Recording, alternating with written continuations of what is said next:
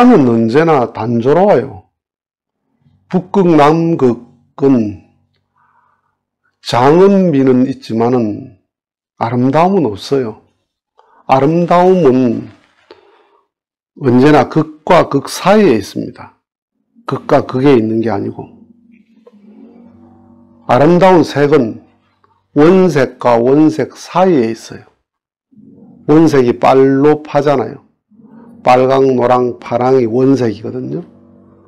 그런데 그 많은 색들은 빨강과 노랑 사이에 있잖아요. 빨강과 노랑을 어떻게 섞느냐에 따라서 색깔이 나오고, 그 다음에 노랑과 파랑 사이에 있고, 파랑과 빨강 사이에 있잖아요. 맛은 극과 극 사이에 있거든요. 마늘이 맛있습니까? 고춧가루가 맛있습니까? 된장이 맛있습니까? 간장이 맛있습니까? 그 자체로 그건 전부 다 극이에요. 그 맛이 없어요. 그 맛은 어디에 있어요? 그 사이에 있어요. 마늘이 들어가고 간장이 들어가고 고춧가루 들어가고 이렇게 들어가서 그 사이에 맛이라는 게 존재해요. 도레미파솔라시도 이 칠음이 아름답습니까? 아니에요. 소리는 음악이 아니에요. 소리는 소리지. 도레미파솔라시 도는 소리예요. 음악은 뭐냐? 도레미파솔라시 도 원음을 가지고 요리를 한 거예요. 그죠? 그러니까 맛은 극과 극 사이에 맛이 있고 아름다운 색도 원색과 원색 사이에 아름다운 색이 있고 소리도 극과 극 사이에 소리가 있단 말이야. 아름다운 소리가 있단 말이야. 그래서 극단이라고 하는 것은 단순한 거예요. 왜 이런 말을 하느냐 하면 하나님이 있다, 없다, 이게 극단이거든요. 있다는 것도 극단이고, 없다는 것도 극단이다, 이 말이에요.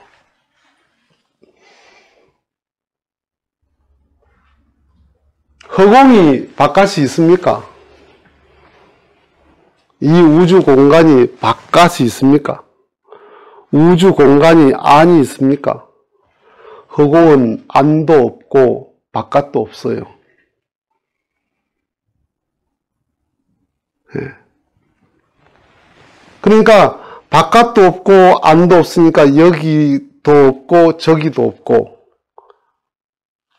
과거도 없고 미래도 없고 자 원이 원이 원이 시작이 있습니까? 다 시작이니까 다 끝이죠.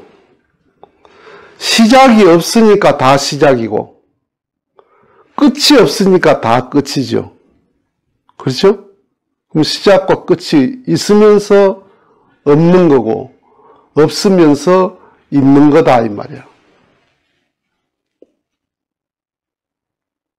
시작과 끝이라는 게 극과 극이거든요. 그게 있는 것이기도 하고 없는 것이기도 하고 다 시작이면서 다 끝이야. 시간과 공간 이게 극이에요. 극. 인간의 의식이 거기에 거기에 매, 매달려 있단 말이야. 시간적으로 뭘 보려고 해석하려고 그러고 공간적으로 해석하려는 시간과 공간이 극과 극인데 그, 그 극단에서 벗어나야 하나님을 만나고 나를 만나는 거예요. 내 마음을 만나는 거예요. 자, 신앙자들이 하나님을 믿습니다. 근데 하나님을 어떻게 믿나 하면 하나님 을 자기가 생산해요. 종교가 하나님을 생산한다니까? 그, 그 이상하죠? 종교가 하나님을 생산을 해요. 하나님을 자기 틀을 딱 만들어 놓고 하나님은 이런 분이다 해가지고 자기 종교 틀, 틀로 딱 하나님 만들어서 그 틀에 의해서 하나님을 생산해요. 이 말이 무슨 말이냐 하면 국수 기계 있죠. 국수. 국수 기계에는 밀가루를 넣으면 무조건 국수가 나옵니다. 그러니까 국수 기계만 딱 만들어 놓고 밀가루가 있어. 그러니까 이 밀가루는 절대로 국수밖에 못 만드는 밀가루다 이 말이에요. 이 밀가루가. 그렇습니까? 만두를 만들 수도 있고 수제비를 만들 수도 있고 떡을 만들 수도 있고 그렇죠? 그런데 국수 기계를 가진 사람이 나는 국수 기계밖에 없어.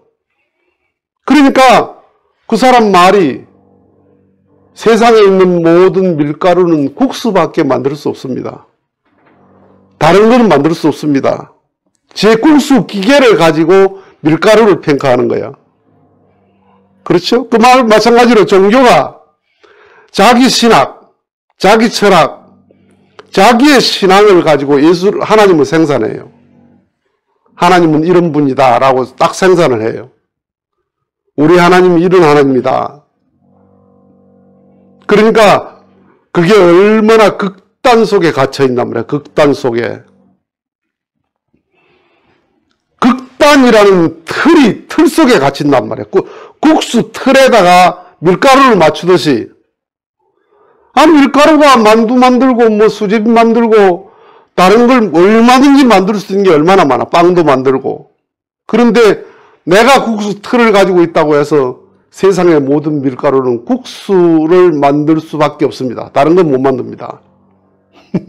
이 말이 얼마나 웃기는 말인데 종교가 그런 웃기는 하나님을 생산을 한다는 거예요. 예수를 생산을 한다는 거예요. 예수를. 자기 종교의 신학을 가지고 예수를 딱 생틀을 만들어 놓고 예수는 이런 분이다. 그래서 딴 데서 예수는 이런 분이다 라고 말하면 어떻게 돼요? 그럼 전부 다 사입이고 거짓말이에요. 우리가 예수가 이런 분이다 라고 이렇게 만들어 놓은 예수 틀이 있어. 예수를 자기가 생산해 놨어.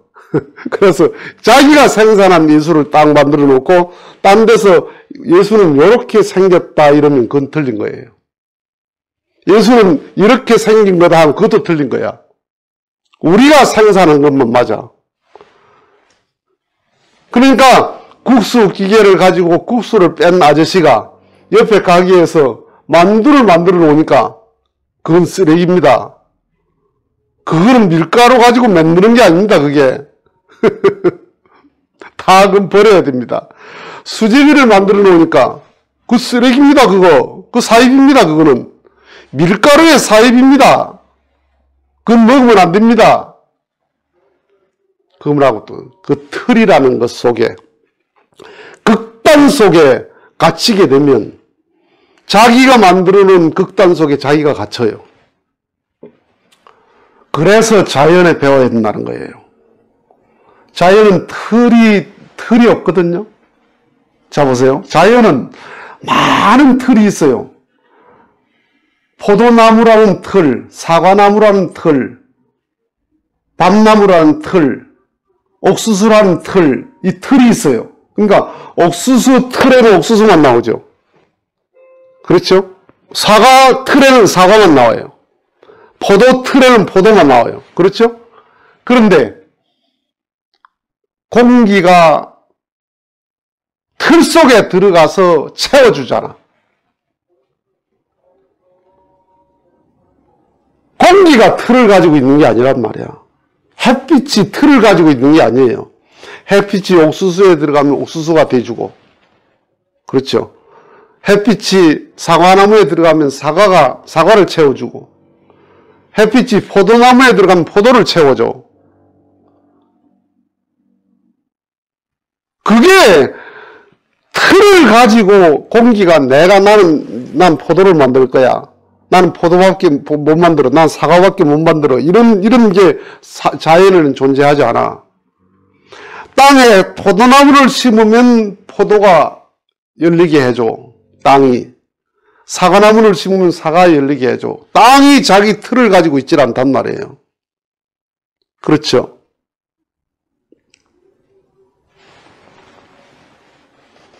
우주에는 틀이 없어요. 진리에는 틀이 없다는 거예요. 그러니까 예수 석가는 틀이 없는 분이고 예수 석가는 석가의 말씀은 틀이 없는 말씀이란 말이야.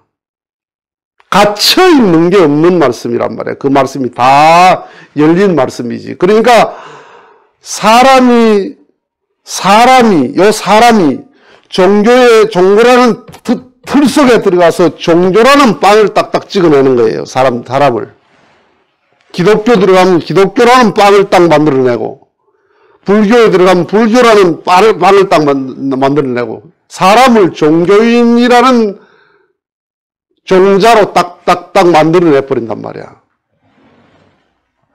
원래 사람이 틀이 없었어. 생각 속에.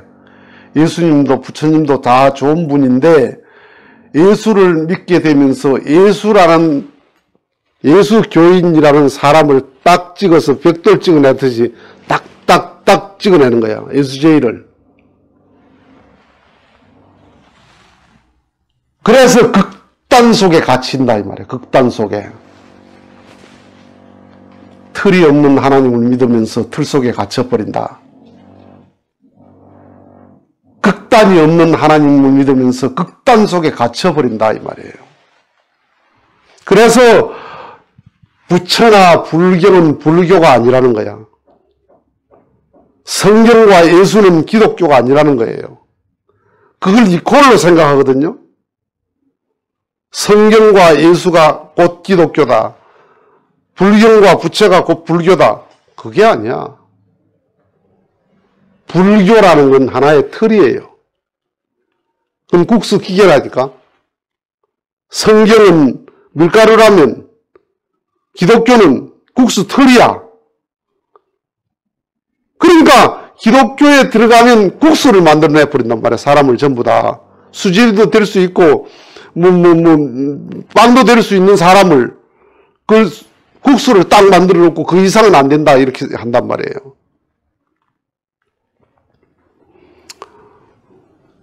예수님이 율법을 몰라서 죄인을 용서한 게 아닙니다. 율법에는 죄인을 용서 못 하거든요. 그런데 예수님이 용서했어. 예수님은 율법을 몰라서 율법을 아는데 용서한 게 뭐냐? 율법의 목적인 사랑을 이루었어요. 그 사랑의 세계는 틀이 없다. 율법은 틀이 있는데 사랑은 틀이 없어. 하나님이 원리를 몰라서 구원 섭리하는 게 아니에요. 비원리적인 인간을 구원하는 게 아니에요. 원리의 목적인 사랑이시기 때문에 하나님이 하는 거야. 원리는 틀이 있는데 사랑은 틀이 없어. 원리의 목적이 사랑이거든. 그래서 하나님이나 예수님이나 부처님은 목적의 세계에 도달했다 이 말이야. 틀 속에 갇혀 있는 분이 아니다. 그래서 극단 속에 머무면 안 된다. 극단. 아름다움도 극단에는 없다. 원색과 원색 사이에 아름다움이 있다. 마늘과 고춧가루, 간장, 된장 이것 사이에 맛이 있다. 도레미파 솔라시도 사이에 음악이 있다. 도레미파 솔라시도는 소리지 음악이 아니다. 극단 속에 진리가 있는 게 아니다. 시간과 공간을 좋아하지 마라. 있다 없다에 주관 받지 마라. 원주가 시작이 없으니 다 시작이요. 끝이 없으니 다 끝이다. 끝과 시작이 없다. 있으면서 없다. 있음과 없음이 그런 거다. 그래서 극단 속에 나를 가두지 마라 하는 겁니다. 마치겠습니다.